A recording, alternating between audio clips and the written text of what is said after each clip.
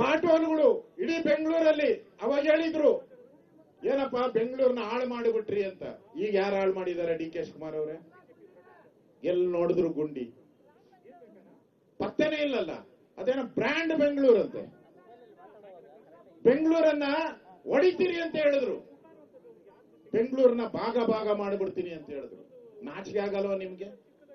ಕೆಂಪೇಗೌಡರು ಕಟ್ಟಿರೋ ಬೆಂಗಳೂರು ಇದು.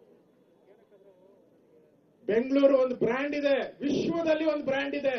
ಅದನ್ನು ಭಾಗ ಮಾಡಿದ್ರೆ ನಿಮ್ ಕಾಂಗ್ರೆಸ್ ಆಫೀಸ್ನ ಭಾಗ ಮಾಡಾಕ್ ಬಿಡ್ತಾರೆ ಜನ, ಹುಷಾರಾಗಿರಿ. ಭಾಗ ಮಾಡಿದ್ರೆ ಕಾಂಗ್ರೆಸ್ ಆಫೀಸನ್ನ ಯಾರನ್ನು ಓಲೈಸಕ್ಕೋಸ್ಕರ ಮಾಡ್ತಾ ಇದ್ದೀರಾ?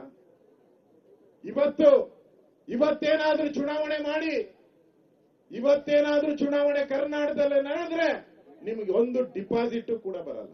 ಒಂದು ಕ್ಷೇತ್ರದಲ್ಲೂ ಡಿಪಾಸಿಟ್ ಬರಲ್ಲ. ಯಾಕಂದ್ರೆ ನೂರ ನಲವತ್ಮೂರು ಕ್ಷೇತ್ರದಲ್ಲಿ ಬಿಜೆಪಿ ಲೀಡ್ ಬಂದಿದೆ ನೂರ ನಲವತ್ಮೂರು, ಇನ್ನೂರ ಇಪ್ಪತ್ನಾಲ್ಕರಲ್ಲಿ. ಇವತ್ತು ಕಾರ್ಪೊರೇಷನ್ ಚುನಾವಣೆ ನಡೆದ್ರು, ಇವ್ರು ಯಾರಿಗೂ ಡಿಪಾಸಿಟ್ ಬರಲ್ಲ ಕಾಂಗ್ರೆಸ್ ಅವ್ರಿಗೆ. ಬೆಂಗಳೂರಲ್ಲಿರೋ ಐದು ಕ್ಷೇತ್ರಗಳು ಗೆದ್ದಿದ್ದೀರಿ, ಮೊದಲು ನಾಲ್ಕು ಗೆದ್ದಿದ್ರಿ. ಈ ಬಾರಿ ಬೆಂಗಳೂರಲ್ಲಿ ಐದಕ್ಕೆ ಐದು ಗೆದ್ಬಿಟ್ಟಿದ್ದೀರಿ ನಾವು. ಇವ್ರ ಯೋಗ್ಯತೆ ಏನು ಅಂತ ಗೊತ್ತ? ಯಾವುದನ್ನು ಎರಡ್ ಸಾವಿರದ ಗೆದ್ದಿಲ್ಲ. ಎಲ್ಲ ಲಕ್ಷದ ಮೇಲೆ ಗೆದ್ದಿರೋದೆಲ್ಲ. ಎಲ್ಲ ಲಕ್ಷದ ಮೇಲೆ ಗೆದ್ದಿರೋಂಥದ್ದು. ಈ ಬೆಲೆ ಏರಿಕೆ ಸಾಮಾನ್ಯ ಜನರ ಬಾಳನ್ನ ಹಾಳು ಮಾಡಿದೆ ಇವತ್ತು. ಸ್ಲಮ್ಮಲ್ಲಿ ವಾಸ ಮಾಡೋ ಜನ, ಕೂಲಿ ಮಾಡೋ ಜನ, ಮಧ್ಯಮ ವರ್ಗದ ಜನ ಬೀದಿಗೆ ಬರುವಂತ ಸ್ಥಿತಿಗೆ ಬಂದಿದೆ ಇವತ್ತು, ಬೀದಿಗೆ ಬರ್ತಾ ಇದೆ. ಈ ಸಿದ್ದರಾಮಯ್ಯನವರು ಮಜಾವಾದಿ ಸಿದ್ದರಾಮಯ್ಯ.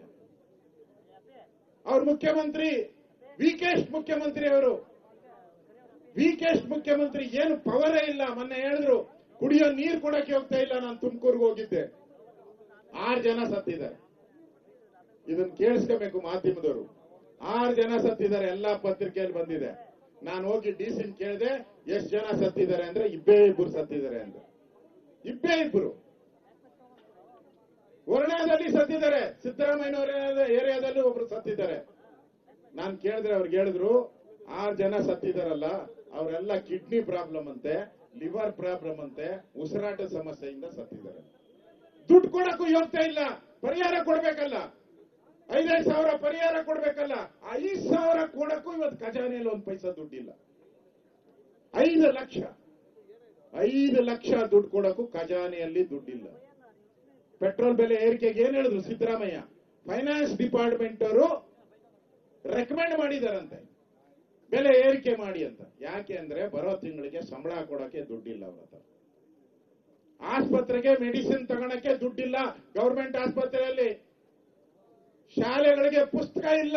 ಒಂದ್ ತಿಂಗಳಾಯ್ತು ಶಾಲೆ ಶುರುವಾಗಿ ಗೌರ್ಮೆಂಟ್ ಶಾಲೆ. ಪುಸ್ತಕ ಬಂದಿಲ್ಲ. ಬಟ್ಟೆ ಬಂದಿಲ್ಲ. ಶೂ ಕೊಟ್ಟಿಲ್ಲ.